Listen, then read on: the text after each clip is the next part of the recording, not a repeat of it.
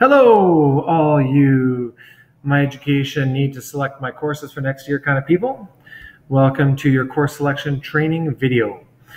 Uh, you will notice here I have already logged in. I am assuming that you can log in. When you log in, it automatically logs into the Pages tab up here near the top of the screen. We don't want to be on the Pages tab, so click on My Info. Once you click on it, you notice the My Info turns orange, and you're going to scroll down, or not scroll down, but go down to the left-hand side and look for the word that says Request. Request. Here, the word highlighted by my little finger there. And we're going to go Requests. Now, this is important. You need to read the instructions very carefully.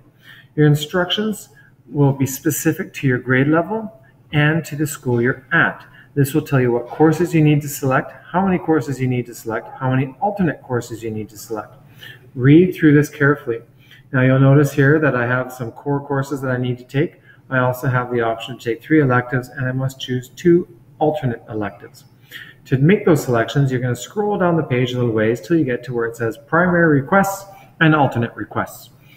In order to select your courses, you're going to click on, you guessed it, the gray select button. Selecting the gray select button will bring up a pop-up window and in the instructions it will tell you how many courses you need to select. In this case, I need to select one retire, required course. I'm going to make sure to select English 10 um, just because I'm moving into 10 and that seems like a good course for me to take. Once you're done doing that, you hit OK. And you'll notice once I've clicked on OK that I've got the information entered here. It says English 10 under course description. Now I'm going to move down to select other. Uh, select other is a bit different here simply because when you read the instructions, you notice it says select three elective courses. You must select three courses.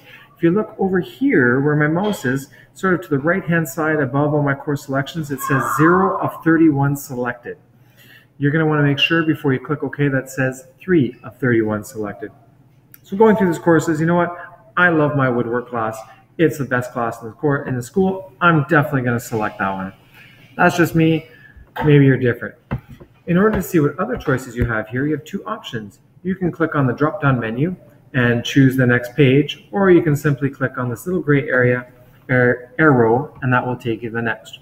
Scrolling through here, I might look, oh, hey, I kind of like guitar. I could make a guitar in my woodwork class and then play my guitar in guitar class. How cool is that? I've still only got two of 31 selected. You can see in the top right hand corner here. So I need to find something else to take. And you know what? I absolutely love the French language. I think French is the language that we should all learn. Parlez-vous français? Like they like to say, clicking on French. You notice now I have three of 31 selected courses. I need to select three courses. I can now click OK. Now I went ahead earlier and selected some of my other courses because I wanted to hurry up the video.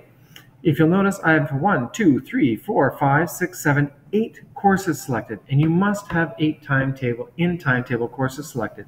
Now, if you want to do a bit more and you want to take an out of timetable course, that's okay. You can select this other option.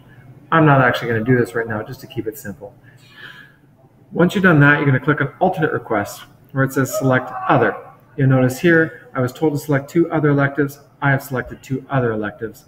Um, you can go through and select them. Finally, you have notes for counselor. This is where you're going to want to leave your notes for your counselor. Please make sure those notes are important. Counselors have to read through these for every single student we have in the school. We're going to want to make sure that uh, we don't increase their workload. If you do need to communicate something to them, though, that is the spot to do it. If at this point you're not able to fill all eight of your in timetable courses and your alternate courses, don't panic. The system automatically saves it for you. At this point, you could just click out, click on another tab, log out of the program, and come back later and choose your courses. You have the time to think about it. You have until the due date, in fact. You're going to need to pay attention to that due date because once it comes, you will not be allowed to make any changes.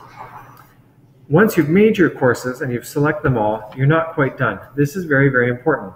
Down the bottom, there's a button that says Post.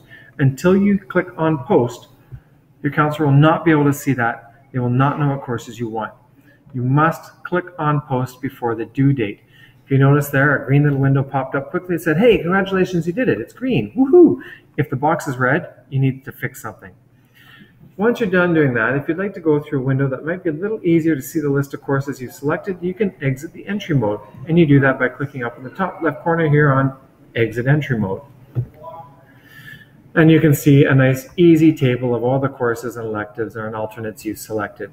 If you need to get back into entry mode, you click on, that's right, entry mode, and that will take you right back. That is the end of this video for you. I would encourage you, if you run into any problems, not to talk to the computer. It won't talk back. Go see a real live person. Thank you very much.